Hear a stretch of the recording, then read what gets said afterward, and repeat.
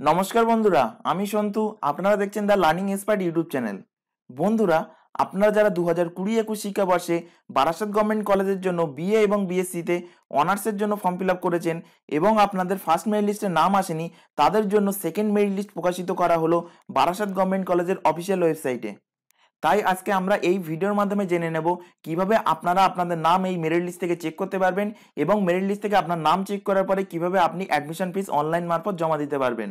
আর বন্ধুরা, আপনি যদি আমার চ্যানেলে নতুন দর্শক হয়ে থাকেন, তাহলে আমার চ্যানেলটিতে একটি লাইক করে দেবেন, সাবস্ক্রাইব করে দেবেন এবং আপনার বন্ধুদের মধ্যে শেয়ার করে দিন যারা এই বারাসাত গভর্নমেন্ট কলেজের জন্য অনলাইনে ফর্ম ফিল আপ করেছিল। প্রথমে আপনারা যে কোনো ব্রাউজারে সার্চ অপশনে চলে আসবেন এবং সেখানে এসে বারাসাত গভর্নমেন্ট কলেজ বলে লিখবেন, লিখে সেটি সার্চ করবেন। সার্চ করলে এখানে আপনারা বারাসাত গভর্নমেন্ট কলেজের অফিসিয়াল লিঙ্কটি কিন্তু প্রথমেই দেখতে পাচ্ছেন। এটির ওপরে আপনারা ক্লিক করবেন। এটির ওপরে ক্লিক করলে বারাসাত গভর্নমেন্ট কলেজের অফিসিয়াল ওয়েবসাইটে কিন্তু আপনারা সরাসরি পৌঁছে যাবেন। এবং এখানে আপনারা দেখতে পাচ্ছেন merit of league admission of league wish list দু হাজার কুড়ি বলে একটা অপশান আছে। এটির ওপরে আপনারা ক্লিক করবেন। এটির ওপরে ক্লিক করলে একটি নতুন পেজ এখান থেকে ওপেন হবে এবং এখানে আপনারা দেখতে পাচ্ছেন undergraduate BA oblique BSc merit list বলে একটা অপশান এখানে দেখতে পাচ্ছেন। তার নিচে এখানে আপনারা দেখছেন publication of merit oblique admission list এবং এর ডান সাইডে গো বলে একটা অপশান এখানে আপনারা দেখতে পাচ্ছেন। এই গো অপশানটির উপরে আপনারা ক্লিক করবেন। ক্লিক করলে একটি নতুন পেজ এখান থেকে ওপেন হবে এবং এখানে আপনারা দেখতে পাচ্ছেন BA oblique BSc second admission list honours অর্থাৎ বিএ এবং বিএসসি অনার্সের সেকেন্ড মেরিট লিস্ট এখানে প্রকাশিত করা হয়েছে। তো এটির উপরে আপনারা ক্লিক করবেন। এটির উপরে ক্লিক করলে একটি নতুন পেজ ওপেন হয়ে যাবে, অর্থাৎ আপনার কিন্তু সেকেন্ড মেরিট লিস্টের পেজে কিন্তু চলে আসবেন।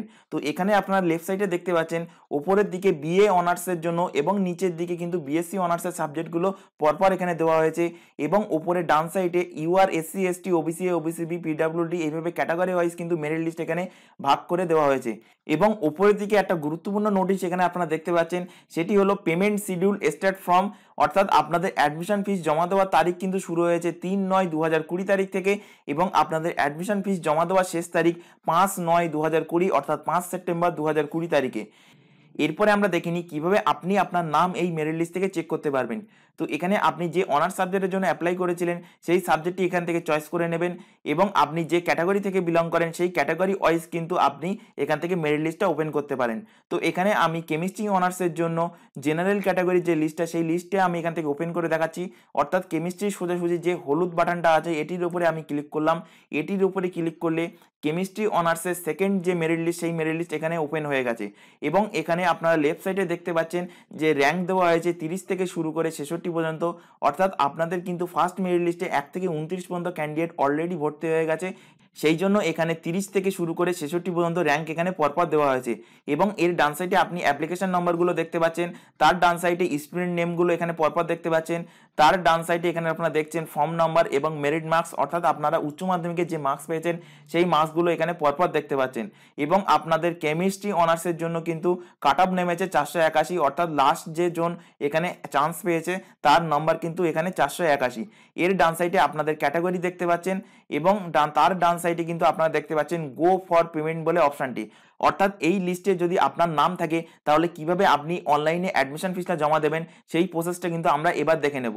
তো এই লিস্টে আপনার নামের সোজাসুজি যে লগ ইন অপশানটি আছে, সেই লগ ইন অপশানটির উপরে আপনারা ক্লিক করবেন। এটির উপরে ক্লিক করলে একটি নতুন পেজ এখান থেকে ওপেন হয়ে যাবে এবং এখানে আপনারা দেখতে পাচ্ছেন রেজিস্টার অ্যাপ্লিকেন্ট লগ ইন বলে একটা পেজ এখানে ওপেন হয়েছে এবং এখানে আপনাদের অ্যাপ্লিকেশন নম্বর এবং পাসওয়ার্ড কিন্তু এখানে দিতে বলা হয়েছে। অর্থাৎ আপনারা ফর্ম ফিল করার সময় যে অ্যাপ্লিকেশন নম্বর ছিল এবং ফর্ম ফিল করার সময় যে পাসওয়ার্ডটি ছিল সেই পাসওয়ার্ড এবং অ্যাপ্লিকেশন নম্বর দিয়ে এখান থেকে আপনারা লগ করবেন। লগ করলে কিন্তু আপনাদের পেমেন্টের পেজে চলে আসবেন। সেই পেমেন্টের পেজে গিয়ে আপনি ক্রেডিট কার্ড ডেবিট কার্ড এবং এটিএম কার্ড অথবা নেট ব্যাঙ্কিং যে কোনো মাধ্যমে আপনি অনলাইন ফিসটা পেমেন্ট করতে পারেন।